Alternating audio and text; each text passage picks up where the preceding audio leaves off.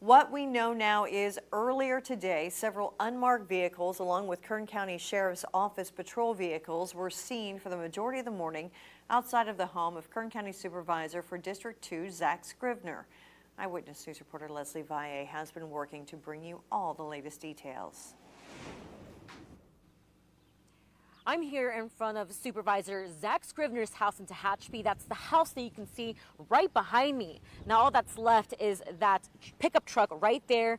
No one else has been seen coming in or out of the house. Now we were told by various neighbors that several Kern County Sheriff's Office patrol vehicles and unmarked vehicles were seen searching his house. We're going to show you video of what Eyewitness News saw as we arrived to his neighborhood. This video was taken at 1.30 as you can see, the Kern County Sheriff's Office patrol vehicles exiting his neighborhood.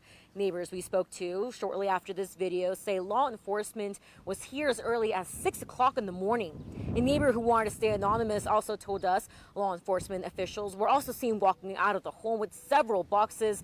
We, of course, reached out to KCSO, who's being very tight-lipped on this situation, telling us, quote, there's nothing there is to discuss, end quote. No arrests, if any, have been announced by the sheriff's office. We also spoke with an official with Scrivner's office, they told Eyewitness News that the supervisor had not been in office today, and they were unaware of any sort of incident involving Scrivner. We also reached out to the Kern County District Attorney Cynthia Zimmer's office for information, but we were told, quote, no comment on the issue at this time, end quote. Now, the District Attorney Cynthia Zimmer is the aunt of Zack Scrivner. Now, again, Scrivner was last seen at the Board of Supervisors afternoon meeting on Tuesday. During that meeting, he presented the proclamation on the Crime Victims Week. Scrivner was elected to the Board of Supervisors back in 2010. His district includes Mojave, California City, Rosamond, Boron, and here in Tehachapi. Now, we will, of course, continue to push law enforcement for answers on this developing situation that, again, we have very little to no information other than what neighbors have told us.